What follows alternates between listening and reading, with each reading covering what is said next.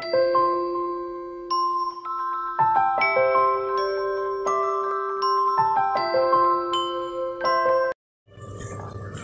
Friends हम देख चुके थे भाषा शिक्षण की विधियाँ। उनमें हम पार्ट वन देख चुके थे। अब हमारा स्टार्ट होता है पार्ट टू जिसमें हमारी भाषा शिक्षण की और भी विधियाँ आती हैं, जैसे कि हर्बर्ट विधि। हर्बर्ट विधि, पेस्ट्रोलॉजी विधि, प्रत्यक्ष विधि, दल शिक्षण, गति शिक्षण विश्लेषण विधि पाठ्य पुस्तक विधि, व्याख्यान विधि समवाय विधि, समीक्षा विधि, पद्य शिक्षण, नाटक शिक्षण विधियाँ और अनुकरण विधि। अब हम सबको एक एक करके देखेंगे। सबसे पहले होती है हमारी शो हर्बर्टी विधि। जो हर्बर्टी विधि थी, जो हर्बर्ट ने दी थी।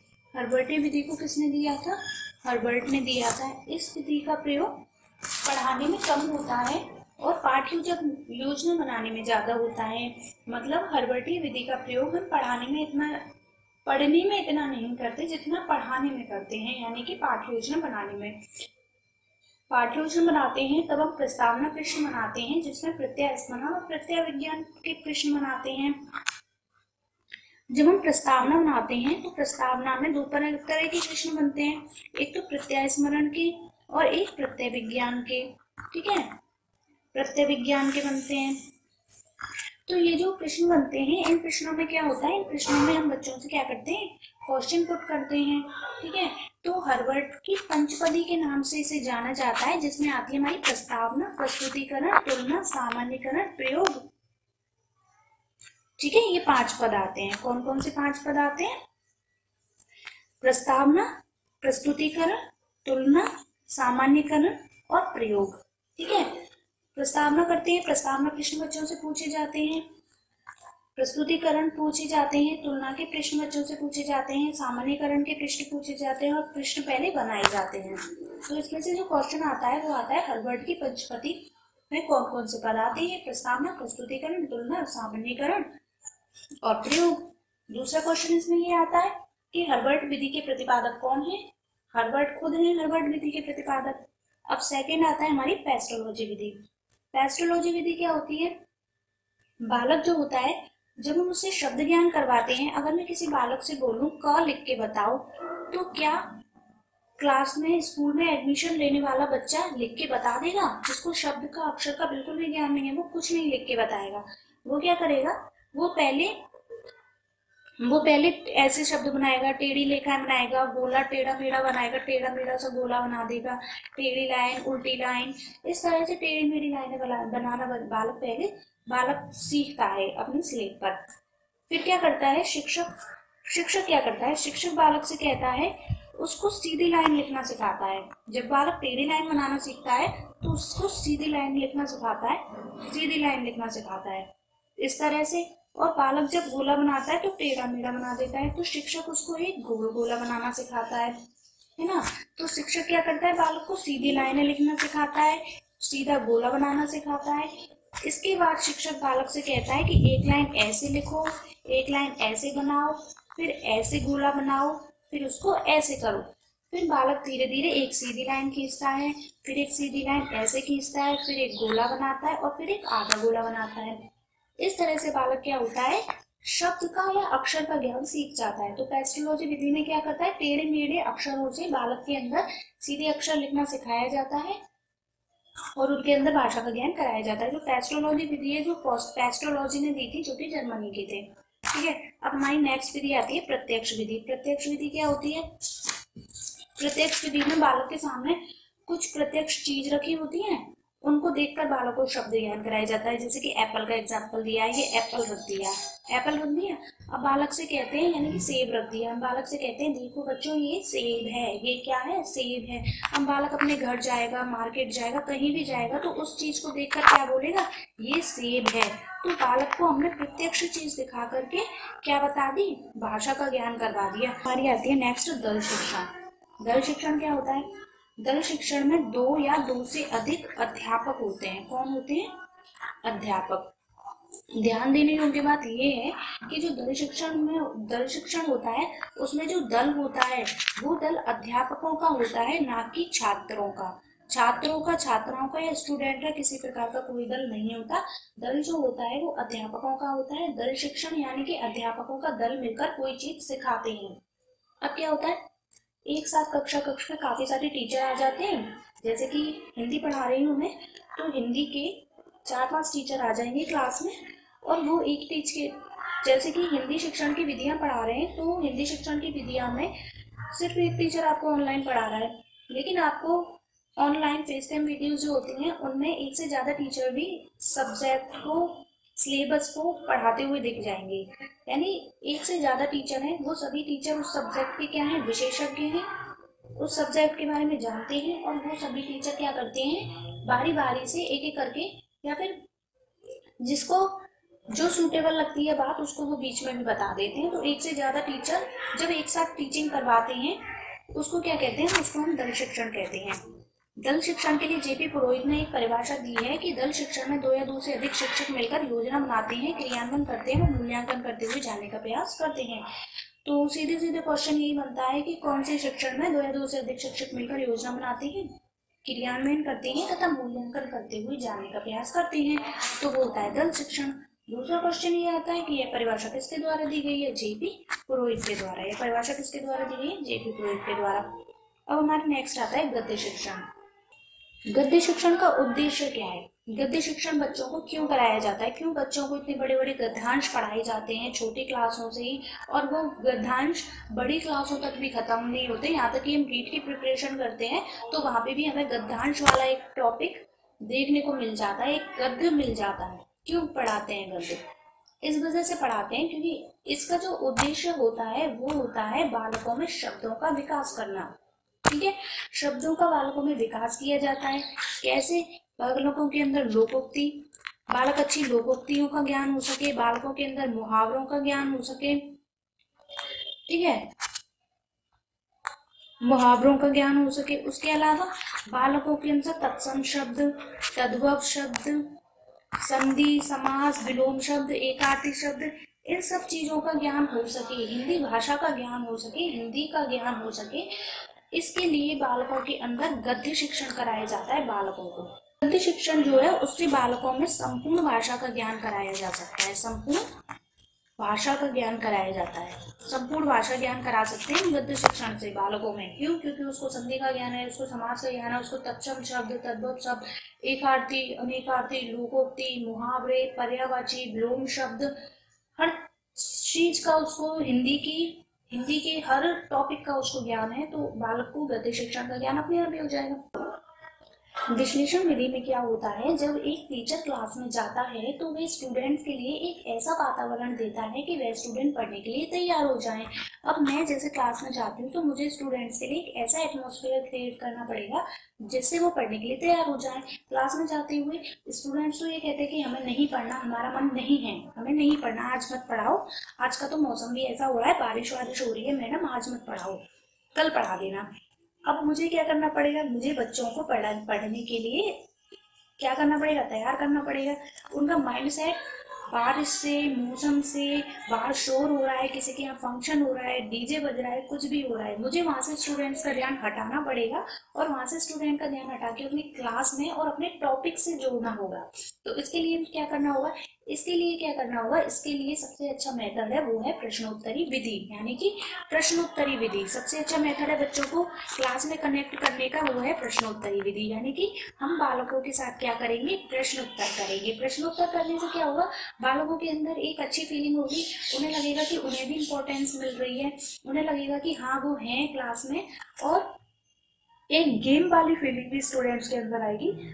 क्योंकि बच्चे गेम्स से जल्दी सीखते हैं। तो प्रश्नोत्तर विधि से क्या होगा? प्रश्नोत्तर विधि करूँगी मैं। लेकिन ऐसा नहीं है कि एक घंटे का अगर मेरा लेक्चर है तो एक घंटे का लेक्चर करते करते मैं प्रश्नोत्तर ही करती रहूँ। ऐसा कुछ नहीं होगा। ऐसा नहीं है कि एक घंटे के लेक्चर में प्रश्नोत्तर ही प्रश्नोत्तर करते रहे, मैं प्रश्न पूछती रहूँ और स्टूडेंट्स आंसर देते रहे। अगर ऐसा चलता रहा तो वो बहुत जल्दी बोर भी हो जाएँगे। तो सबसे पहले उन्हें अपनी क्लास से कनेक्ट करने के लिए मुझे क्या करना होगा? मैं उनसे पूछूँगी अच्छा ये बताओ, हमने कल क्या पढ़ा था? कल का हमारा टॉपिक क्या था? तो काफ़ी सारे स्टूडेंट्स हैं, वो आंसर देंगे कि कल का जो हमारा टॉपिक है, वो ये था, फलांग था, ढैक था। जैसे कल मैंने साइंस पढ़ाई तो मैंने एटम पढ़ाया। तो मैंने कहा उनसे अच्छा कल मैंने क्या पढ़ाया था? कहेंगे, कल तो मैम आपने एटम पढ़ाया था। अच्छा एटम जो होता है उसमें क्या क्या होता है? फिर मैं ये क्वेश्चन पूछूँगी, फिर मैं पूछूँगी इलेक्ट्रॉन्स क्या होते हैं प्रोटॉन्स क्या होते हैं न्यूट्रॉन्स क्या होते हैं, है ना? उसके अलावा परमाणु शब्द किसने दिया? परमाणु की खोज किसने की? इस तरह से बच्चों से लगातार क्वेश्चन पूछते रहने से क्या होगा उनके, उनका माइंड जो है वो एक्टिव होगा, वो क्लास में एक्टिव होंगे। एक बच्चा आंसर देगा, दूसरा नहीं देगा तो उनके अंदर कंपटीशन की भावना भी आएगी। इससे क्या होगा? बच्चे जो है वो क्लास से रिलेटेड हो पाएँगे, एक दूसरे को कनेक्ट कर पाएँगे। टॉपिक से कनेक्ट होंगे क्लास से कनेक्ट होंगे और एक दूसरे से भी कनेक्ट होंगे। तो विश्लेषण विधि का प्रयोग क्या किया जाता है? उसके अलावा ना सिर्फ़ क्वेश्चन क्वेश्चन किए जाते हैं बीच बीच में मैं बच्चों को डिस्क्राइब भी करूँगी कि अगर आप ये पढ़ रहे हो बीच बीच में क्या करेंगे? बच्चों को डिस्क्राइब भी करना पड़ेगा। अगर कोशिका पढ़ाई है तो उसको डिस्क्राइब भी करेंगे कि कोशिका जो होती है, वो शरीर की सबसे छोटी इकाई होती है। बिल्डिंग जो होती है, वो छोटी छोटी ईटों से मिलकर बनी होती है। उसी प्रकार हमारा शरीर भी छोटी छोटी कोशिकाओं से मिलकर बना हुआ है। इस तरह से मैं क्या करूँगी? बच्चों को डिस्क्राइब भी करूँगी डिस्क्राइब करूँगी, उनको बताऊँगी। वो सुनेंगे, वो जल्दी कनेक्ट हो पाएँगे। तो विश्लेषण विधि का प्रयोग कब करते हैं? विश्लेषण विधि का प्रयोग इसलिए किया जाता है जिससे बच्चों का ध्यान पढ़ाई में लगाया जा सकते उन्हें उन्हें क्या करा जा सके? उन्हें क्लास में कनेक्ट किया जा सके। पाठ्य पुस्तक की जो बहुत बड़ी भूमिका होती है, एक जो आपकी बुक है, उसकी बहुत बड़ी भूमिका होती है। सबसे पहले क्या करता है? टीचर अपनी बुक खोलता है। अपनी बुक खोलने के बाद वो स्टूडेंट्स को बोलता है कि तुम सब भी अपनी बुक खोलो। सारे स्टूडेंट्स अपनी बुक खोल लेते हैं। टीचर पढ़ाना स्टार्ट करता है और स्टूडेंट पढ़ना स्टार्ट करते हैं। फिर क्या करता है? टीचर कहता है कि अब तुम सब एक एक करके पढ़ो, यानी कि एक पढ़ेगा, फिर उसके बाद दूसरा पढ़ेगा, उसके बाद तीसरा पढ़ेगा। स्टूडेंट एक, टीचर एक स्टूडेंट को खड़ा कर देता है, उससे कहता है कि अब तू पढ़, ठीक है? वो पढ़ता है, फिर उस नेक्स्ट वाले से कहता है कि अब तू पढ़, फिर वो पढ़ता है, फिर नेक्स्ट वाले से कहता है कि अब तू पढ़, वो पढ़ता है। इस वजह से पाठ्य पुस्तक विधि को तू पढ़ विधि भी कहते हैं। तू पढ़ विधि क्यों? क्योंकि मैं तू पढ़ तू पढ़ तू पढ़ बार बार कहा जाता है तो इस विधि को तू पढ़ विधि भी कहता है। तो इस यहाँ से क्वेश्चन आता है कि कौन सी ऐसी विधि है जिसको हम तूपड़ विधि भी कहते हैं पाठ्य पुस्तक विधि को हम तूपड़ विधि भी कहते हैं। अब हमारी रहती है नेक्स्ट व्याख्यान विधि। व्याख्यान विधि की अगर हम बात करें तो व्याख्यान विधि हमारी सबसे प्राचीन विधि होती है। इसके जनक जो है, वो है प्लेटो।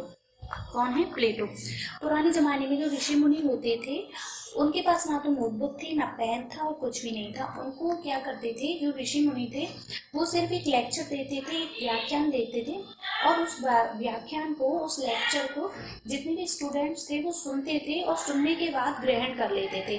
तो व्याख्यान विधि बिल्कुल भी नई विधि नहीं है। लेक्चर मेथड बहुत पुराना मेथड है।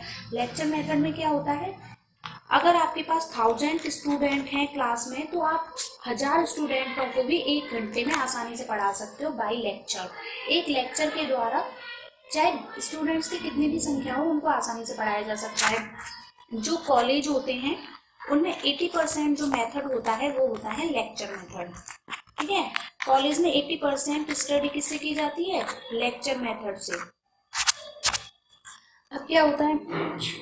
लेक्चर मेथड में स्टूडेंट क्वेश्चन नहीं कर पाता, बस एक टीचर होता है जो नॉन स्टॉप लेक्चर दिए जाता है। स्टूडेंट्स बोरिंग फील करते हैं इस वजह से। लेक्चर विधि बच्चों को थोड़ी कम पसंद आती है, लेकिन ये बड़ी कक्षाओं में ज़्यादा उपयोगी होती है, बच्चों के लिए उपयोगी नहीं है। अब हमारी नेक्स्ट आती है समवाय विधि। समवाय का मतलब क्या होता है? समवाय का मतलब होता है हमारी चारों ओर का वातावरण, ठीक है? अब हमारे चारों ओर कैसा वातावरण है? समाज भी है, यानी कि सामाजिक वातावरण है, थोड़ा आर्थिक वातावरण है, भौतिक वातावरण भी है, रासायनिक वातावरण भी है।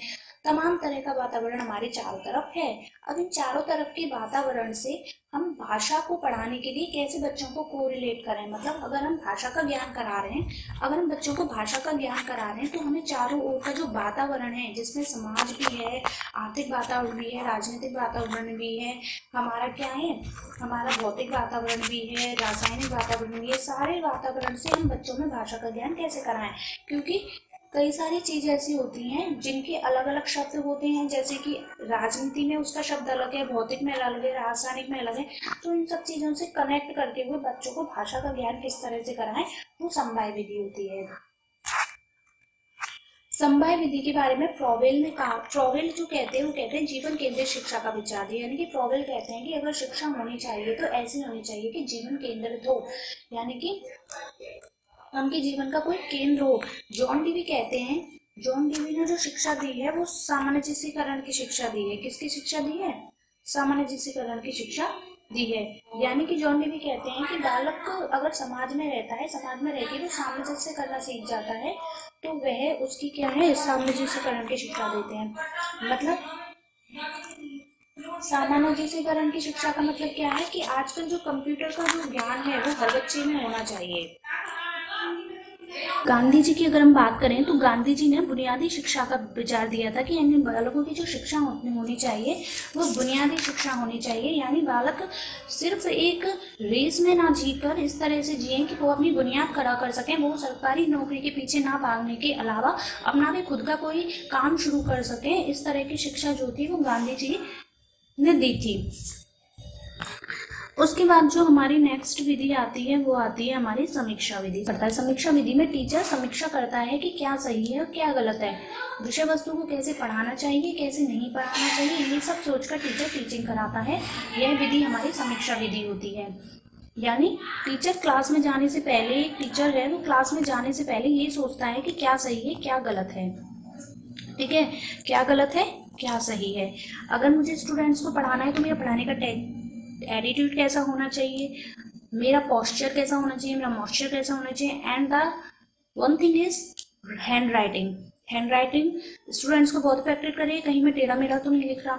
उसके अलावा बच्चों को समझाने में कहीं कोई दिक्कत तो नहीं आ रही। इस तरह से टीचर क्या करता है? अपना एनालिसिस करता है एक तरह से। समीक्षा करता है कि क्या गलत है, क्या सही। है तो इसमें समीक्षा विधि में समीक्षा किसकी होती है? टीचर की नॉट फॉर स्टूडेंट ऐसा क्वेश्चन आएगा कि समीक्षा विधि किसके लिए है? तो समीक्षा विधि अध्यापक के लिए, ना कि विद्यार्थी के लिए।